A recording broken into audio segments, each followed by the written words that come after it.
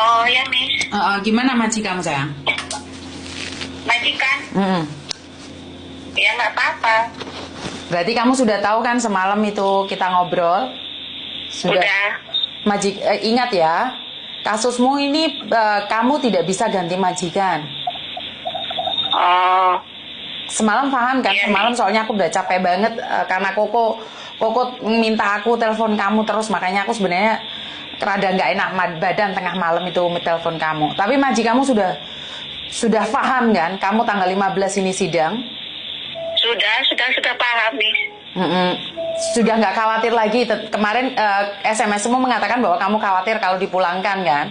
Iya, Semalam Koko sudah bicara dengan majikanmu sudah sudah tenang. sudah tenang sekarang. Heeh. Tapi ingat loh, jangan diulangi lagi loh. Iya Miss, aku kapok lah nggak mau ulangi lagi lah. Karena Takut banget. karena gini loh sayang, kalau mencuri sekali itu itu masih kilaf kasarnya orang ngomong lah kamu dua kali, tiga kali dan semakin hari semakin banyak gitu loh sayang. Iya Miss, Ini ini pertama kali kamu mencuri atau sebelumnya pernah? nggak pernah lah Miss. Kenapa? Kamu kan punya uang atau punya gaji tuh sayang. Kenapa sih kok bisa seperti ini? Itulah Miss, nggak tahu. Kadang-kadang aku bingung gitu lah Miss. Kenapa? Kamu bisa ceritakan kamu bingung karena kepepet uang keluarga minta atau memang kamu sendiri ada sakit, ada apa gitu loh sayang? Nggak tahu, kadang bingung aja gitu lah Miss, nggak tahu aku. Bingungnya kenapa? Kan Bingung. orang bingung kan pasti ada alasan karena majikan jahat, karena dipukul atau karena keluarga butuh uang. Tapi bingungmu ini apa sayang? Itulah kadang neneknya marah, marah, marah. Dah, dah shock aku bingung gitu. Lah, kan, Pak. Mm-mm. Terus? Pas kejadiannya itu loh Miss, kan ke pasar belanja. Neneknya ngasih duit 100 loh Miss, dibilang 500. Sampai aku dibentak-bentak di pasar itu apa gitu loh Miss. Itu jadinya shock gitu, bingung, bingung, bingung. Gitu. Oke. Sampai rame di pasar itu lah Miss, aku dibentak-bentak Miss.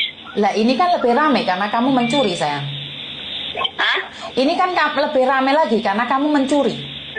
Lah iya itulah Miss, bingungnya aku tuh Miss. Lah iya kenapa harus melakukan kesalahan itu gitu loh? Paham nggak maksudku? Kalau majikanmu jahat, majikanmu jahat kita bisa laporin polisi. Kamu lo bisa cari aku. Lah kenapa Lah kamu itu. mencuri sayang? Itu itu yang aku kesalkan adalah kamu mencuri sampai tiga kali itu it- itu yang saya nggak dapet gitu loh, nggak nggak masuk Iya akal. Miss. Iya Miss, aku paham. Kamu bukan kekurangan uang kan sayang? Bukan Miss. Kalau kamu butuh makanan, kamu bisa datang ke rumahku. Di sini banyak saudara-saudaramu ngasih kopi, ngasih apa pun banyak. Tapi kalau mencuri itu kamu punya penyakit, sayang. Dan ingat, Iya, Mi. Ah, ah, dan ingat, kamu kalau kalau sudah nggak cocok lagi sama majikan ini, kamu nggak bisa ganti majikan loh. Karena kasus polisi itu nggak bisa ganti majikan, hanya hanya majikan itu. Ngerti? Iya, kakeknya pun masih nyuruh aku kerja gitu loh. Makanya baik-baiklah kau. Maka baik-baiklah kau. Jangan janganlah kau lakukan seperti itu. Kan, kan memalukan orang-orang Batak kau. Iya Miss, iya Miss, aku maaf Miss. Ah, Iya Miss, eh, kapan libur?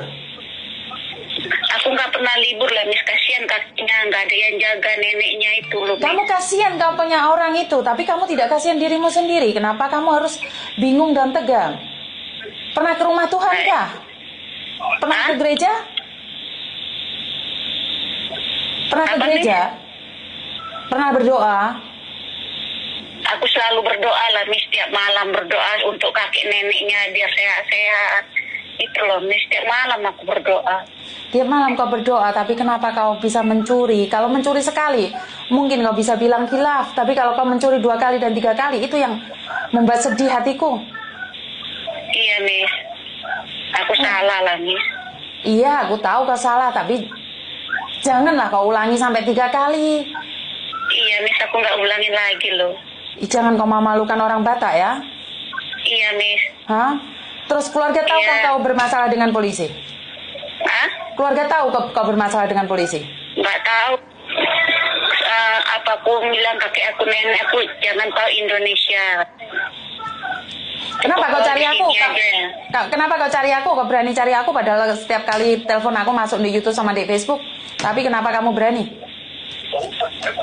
Lah, Tapi sudah tenang kan semalam Koko ngomong sama maji kamu dan untung untung kita mau bantu. Agentmu gak mau bantu kah? lepas tangan lah Miss kata singsang aku dia nggak bisa apa nggak bisa bantu katanya gitu pulang-pulang lo katanya gitu Hah?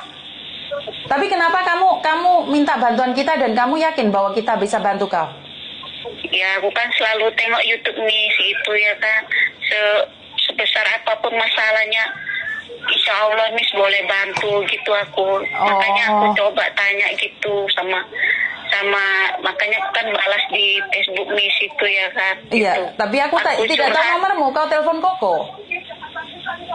kan tuh hari kan ada Miss suatu konten itu kasih tahu nomor Koko Oh, karena itu kau cari Jadi kan Koko. aku pas curhat gitu sama di YouTube Miss itu kayak udah lempang gitu.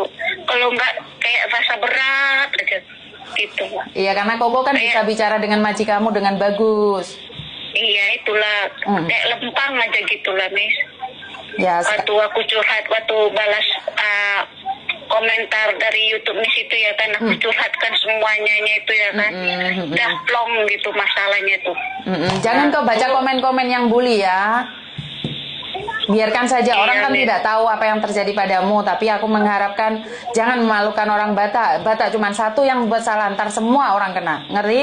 Iya Miss, Ah, aku Ah. paham lah Miss. Iya, jadi cukuplah kau yang melakukan kesalahan ini dan jangan Iya, sampai diulang ah, lagi. Aku udah udah nggak mau lagi lah, Miss. Udah tobat lah aku, Miss.